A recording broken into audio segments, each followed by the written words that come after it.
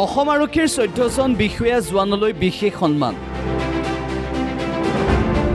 আৰক্ষীৰ বিশেষ শাখাৰ A D G P Hiren Chandra নাথলৈ ৰাষ্ট্ৰপতিৰ বিশেষ সেৱা মেডেল। অসম আৰক্ষীৰ আন তেৰগৰাকী বিষয়ালৈও ৰাষ্ট্ৰপতিৰ পুলিচ মেডেল।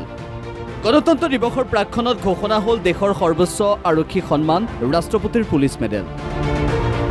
প্ৰতিবছৰে গণতন্ত্ৰ দিৱসত দেশৰ সাহসী আৰক্ষী বিষয়া জোৱানলৈ আগবঢ়োৱা হয় এই সন্মান। এইবেলিও দেশৰ নশ ঊনচল্লিছগৰাকী আৰক্ষীলৈ আগবঢ়োৱা হৈছে ৰাষ্ট্ৰপতিৰ পুলিচ মেডেল। ইয়াৰে এশ ঊনানব্বৈগৰাকী আৰক্ষীলৈ সাহসিকতাৰ মেডেল। আঠাশীগৰাকী আৰক্ষীলৈ ৰাষ্ট্ৰপতিৰ বিশেষ সেৱা মেডেল। ছশ বাষষ্ঠিগৰাকী আৰক্ষীলৈ আগবঢ়োৱা হৈছে ৰাষ্ট্ৰপতিৰ প্ৰশংসনীয় সেৱা মেডেল। ইয়াৰে এশ পোন্ধৰগৰাকী জম্মু কাশ্মীৰ আৰক্ষীৰ ত্ৰিছগৰাকী চি আৰ পি এফৰ জোৱান তিনিগৰাকী আই টি বি পিৰ জোৱান।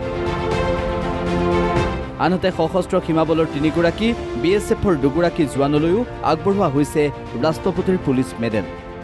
গণতন্ত্ৰ দিৱস উপলক্ষে আগবঢ়োৱা আৰক্ষীৰ সৰ্বোচ্চ সন্মানৰ তালিকাত আছে অসমৰো চৈধ্যগৰাকী আৰক্ষী বিষয়াৰ নাম।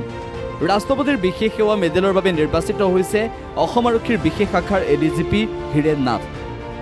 তাৰোপৰি শ্ৰী হৰেণ তকভি শ্ৰী অচ্যুত দত্ত শ্ৰী নৰুল ইছলাম শ্ৰী সমীজুদ্দিন শ্ৰী সুনীল মিলি শ্ৰী মুজাম্মিল হক শ্ৰীমতী ৰঞ্জুমণি শইকীয়া শ্ৰী বিপুল বৰুৱা আদিকে ধৰি আন তেৰগৰাকী আৰক্ষী বিষয়ালৈও আগবঢ়োৱা হৈছে ৰাষ্ট্ৰপতিৰ বিশেষ পুলিচ মেডেল।